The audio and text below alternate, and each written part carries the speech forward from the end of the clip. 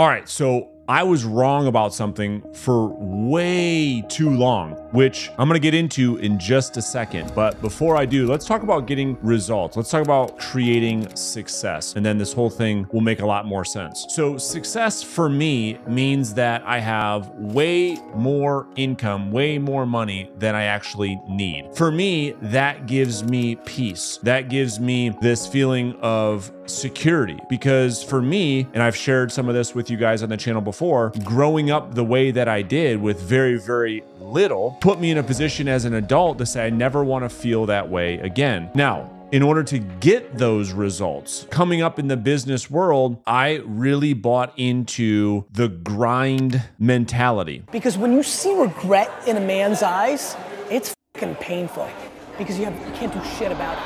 And at the time, there were stories from Gary Vee or messages from Gary Vee or, you know, Eric E.T., the hip hop preacher, who used to say all the time, you know, sleep is for the broke. Sleep is for those people who are broke. It was almost like you would wear a badge of honor the more and more and more and more you would work. Now, stick with me because this doesn't mean we get to be let off the hook with grinding or working very hard. I'll come back to that in just a second. This story has to do with the importance of rest and recovery. And rest and recovery, not from the standpoint of just you having the ability to take breaks, but rest and recovery in the manner of it being strategic as a way to be more productive. So for me, for a long, long, long, long time, I was very bought into the notion of grind, sun up, sun down, seven days a week no days off because I had the badge of honor that said if I take a day off, that was a sign of weakness. And then that put me right back in the thought of pain of growing up in poverty in my early years as a young child. So that brought too much pain. So I never took a day off. But here's the thing I remember this about two and a half, three years ago, feeling a real sense of burnout. I never felt this before, but burnout for me meant that it's not that I was just tired. I mean, I can fight through that. Burnout was literally, I couldn't get a sentence out. I couldn't think. I couldn't write. I was making awful business decisions, terrible business decisions. Well, I was hiring the wrong people, firing the wrong people, quite frankly. And so, you know, I went on this trip with my wife and my kids because my daughter had a horse show. At the time, I didn't understand, I didn't really buy into rest and recovery, drove my family nuts. Then I came back from this trip and the way I felt, the, the amount of productivity that I felt was unlike something I ever felt like before, or at least for a long period of time, where I wasn't able to write. I could sit down for 90 minutes or two hours straight and jam out writing in at the time my my new book or today it's maybe writing a new course for the agents in my mastermind. The way in which I was able to produce when I came back from that trip made me go all in on researching the science behind rest and recovery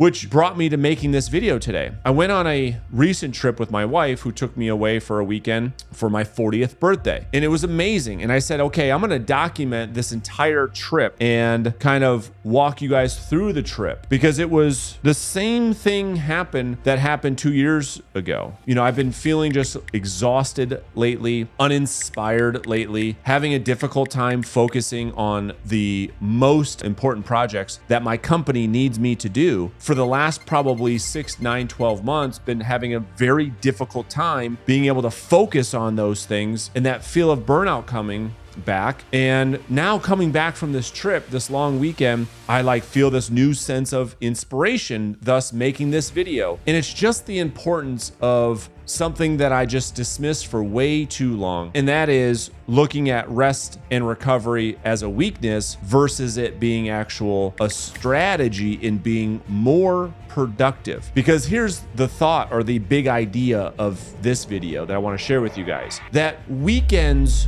are earned. And the way that I went about my business for a long time in real estate was I told you I would work sun up to sundown seven days a week. And if I didn't, if I got to a Saturday or Sunday and I found myself not working for whatever reason, I would carry around this guilt, this feeling like I should be working when I'm not. Fast forward to today, here's the big idea is that if you really put it all out, you really work, you work extremely hard during the week. You fulfill all of your obligations. You follow through on all of your commitments that you can earn a weekend of rest and recovery. Not because of the idea that you deserve a break, although you probably do. It's because you can be more productive the week after. And for me, I said the whole time I was fighting rest and recovery, thinking that that was a weakness. Now it's my secret strength that when I come back refreshed, I can actually get more done in less time than I did before, never taking a break. And rather than looking at rest and recovery as a weakness, looking at it and not just my opinion,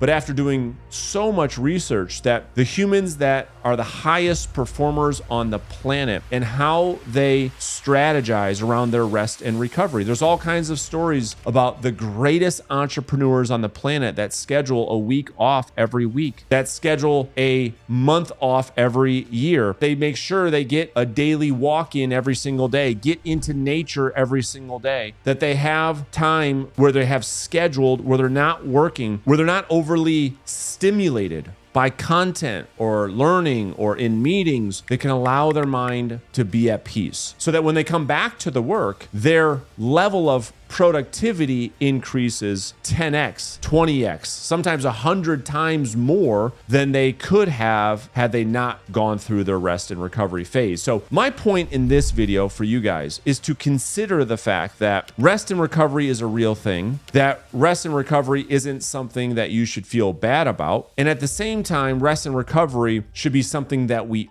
earn and not something that we're entitled to. That Saturday and Sunday should be a celebration of rest and recovery, not because it's the weekend, but because you earned it.